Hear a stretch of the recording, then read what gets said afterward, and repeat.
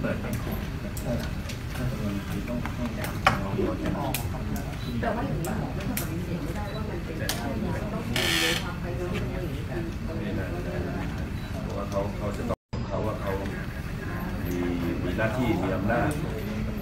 มีภารกิจเรื่องการที่จะสั่งซื้อยารักษา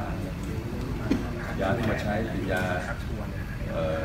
แบบไหนใช้อย่างไรไม่รู้เลยโดยโดยปกติก็ต้องซึ่งขอให้ บอกเองไม่รู้เพียงแต่ว่าเอ่อรายละเอียดบางเรื่องเนี่ยสำนักงานอาหารและยาจะเป็นผู้ที่ให้ให้ข้อมูลได้ดีเพราะว่าเขาเป็นเจ้าหน้าที่เมื่อวานเจ็ดคนนี่คือให้การในทิศทางเดียวกันไหมคะบางเรื่องมันอยู่ในสำนวนผมจะไม่ไม่รู้เลย